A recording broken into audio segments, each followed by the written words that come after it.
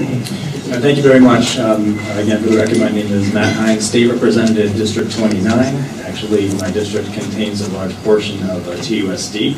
Um, I know it's late, I will keep my comments brief. Um, Thank you for calling me.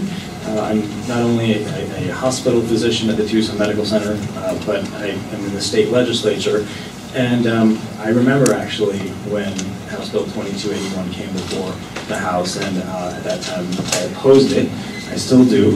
Um, But I come before the board specifically tonight to respectfully urge that uh, the board consider an appeal of Senator Huppenthal's decision to override the findings of the taxpayer-funded independent study that found that there was no violation of the ethnic studies law as uh, written and passed.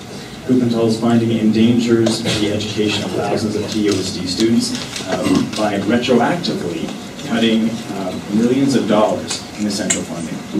I urge the immediate appeal of the superintendent's finding, not only because of the danger these cuts represent to the future of Tucson students, but because it contradicts, directly contradicts, the governor's stated goals of fostering the skilled Arizona workforce to underpin a strong Arizona economy, as we heard earlier today and yesterday, as I heard on the floor of the House when she addressed us in joint session.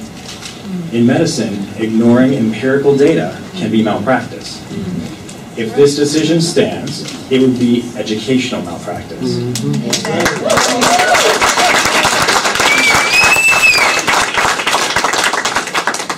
The, uh, the millions of dollars in, that represented by this cut potentially uh, won't affect just the Mexican American Studies programs. Uh, This cut, this fine, uh, will have disastrous, a disastrous impact on science, math, reading classes that are absolutely essential to the success of our students. If Tucson students aren't properly prepared uh, in our public schools, they're not going to be prepared for jobs in growing, in the growing industries of engineering, in medicine, in biosciences, and in many other fields. Uh, So this will take life choices away uh, from the very young people who need them the most. And again, I respectfully, thank you. Um, I would respectfully urge you to submit an appeal and also an injunction uh, to make sure that this doesn't go into effect. Thank you very much.